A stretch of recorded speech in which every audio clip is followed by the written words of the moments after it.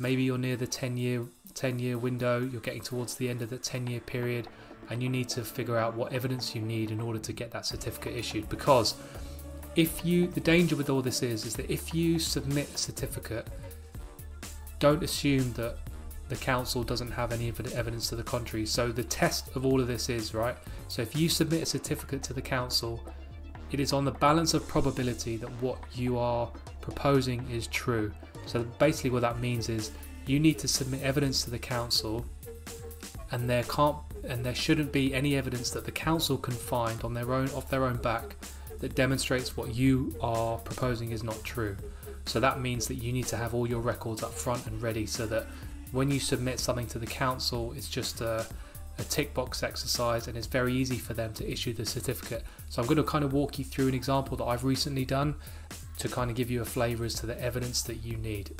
So I recently helped someone uh, get a certificate of lawfulness for a parcel of land. Originally it was part of a car park, but over the years it got turned into commercial use. So what used to be a car park, it got fenced off and then it used for storage.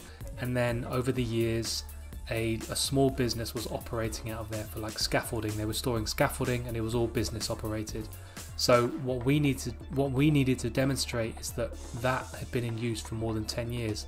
So we needed to demonstrate without on the balance of probability to the council that this parcel of land that we're showing them is its own unit and that it is, has been in operation in commercial use in its own right for more than 10 years. So what we needed to do, so again, just to emphasize this whole thing. So when you submit a certificate to the council, the test is on the balance of probability, what you're saying is true. So there's a few keys to this. And there are certain bits of evidence that are very, very strong when it comes to demonstrating this. There's different levels of, of evidence. So first of all, in this particular example, it was in a yard. So that means that it was you could see it from the sky. So what was available to us was historic imagery from Google Maps. There's Google Maps. There's other providers as well, um, and we could see that over 10 years, that yes, when when the the building was originally designed or built, it was just a car park. But then over the years, more than 10 years ago, it looked like there was a fence around it, and then you could see things being stored in there. So that was the first piece. First piece was just showing that yes, that site had been cordoned off for something else, whatever that might be. And then the next level of evidence, which is very, very strong, is contracts. So if a um, business has been operating out of there and they they are leasing it off the freeholder, there's going to be a contract with that. And then with that contract, you can say that XYZ business signed an agreement on XYZ year and we have been operating there ever since. So going back through the evidence, what we've identified so far is that a parcel of land has been used for has, has been cordoned off for something, and then the next bit of evidence is okay, this was leased to a business more than 10 years ago, but you need to demonstrate that that site has been in use. That's not enough. So the next level of evidence is contracts and receipts. So what's normal operation for a business like that is you will get maybe delivery receipts or maybe you had some make changes to that area. So let's say they wanted to build an office in that parcel of land, which they did. A contractor would come in, everything is signed and dated saying XYZ provider is going to build this office building on this address, this parcel of land. Now in this in this case it didn't have an address, but it was they basically created one. So it was unit XA and then that was the evidence enough to say this parcel of land has been cordoned off for something, someone has signed a contract to use it for the lease, and we now have evidence that activity has been going on there in relation to that business. But the problem is that one contract is not enough. You can't have a contract or a receipt done in 2013 and say, oh, 10 years ago we were operating there. You have to show evidence of continuous use for 10 years. Uh, if new tenants were coming in there every year, you'd need to submit the contracts every every year to show that look a new business has come has arrived into that area every year and they have been operating out of there. And then the same thing goes with receipts. You need to show continuous use. So you need to show that 2013 14 15 16 17 all the way up to the present day shows that we have there has been business operating out of there every year constantly for the for more than 10 years. And that's very very strong evidence. Those pieces of information are so strong. Other pieces of evidence are things like council tax records. You should be able to find the council tax records, business rates. Every year, a business needs to pay the council to operate out of there. So keep all of your evidence, that any any evidence that you have with that council to show that you're allowed to operate there. That could also be things like utility bills. Utility bills is also very, very strong. So if your electricity has been turned on for XYZ company and you have paid that electricity bill for every single year and it has that company's name that relates back to the lease or the contracts, again, stronger evidence that okay, you, they've been operating there, they've got the electricity on, they've been getting contracts, they've also got water going to the site, clear evidence that there's been activity. And there are other bits of information you could submit, but I would say the next strongest one uh, would kind of tie all of this together.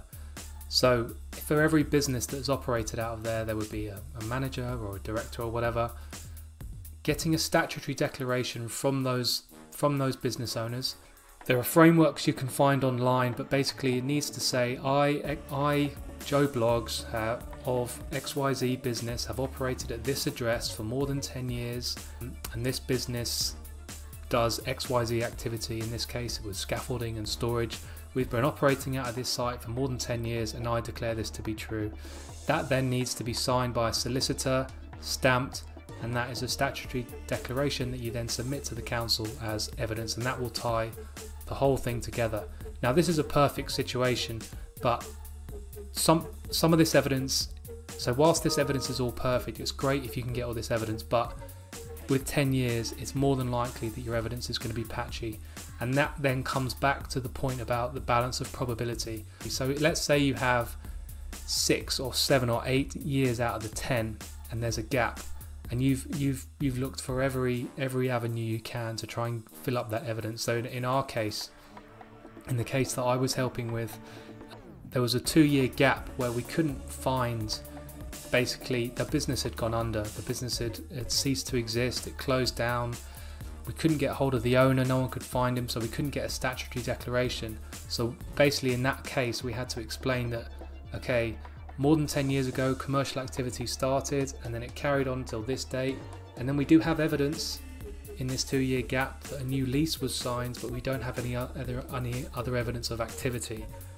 And then you show the you, you would show the example of this be this business has ceased to exist and you point them to the company records and stuff like that. But then two years later it all kick started again and here's the evidence. And you need to make sure in that instance when you're submitting that there's nothing that the council can find to the contrary of what you're saying so it's very hard for them to do that if you've covered every every angle you can do you can demonstrate on the balance of probability. Uh, the commercial activity has been going on there for 10 years. So if you are going to be using a certificate of lawfulness to demonstrate 10 years and you're thinking about going to the council, start digging through all your records and try and find everything that I've just laid out there.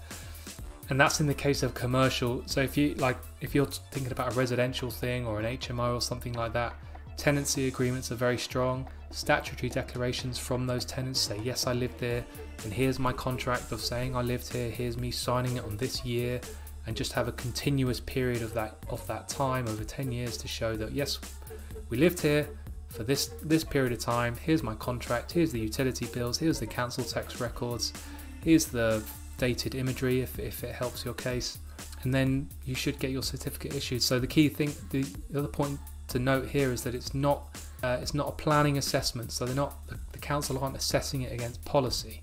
They're just assessing whether or not what you're saying is true. That's it. So that's why you just need to have everything, all your records clear because it's not a planning assessment. It's not a, an assessment against policy D1 to check what whether you've done is acceptable from a design point of view or anything like that, or use point of view. It's just are you what what you're saying is it true or not? That's it. That's the only test. So if you want to learn more about how to use the planning system and how to unlock the value or development potential of any site, click the link below and you can learn more.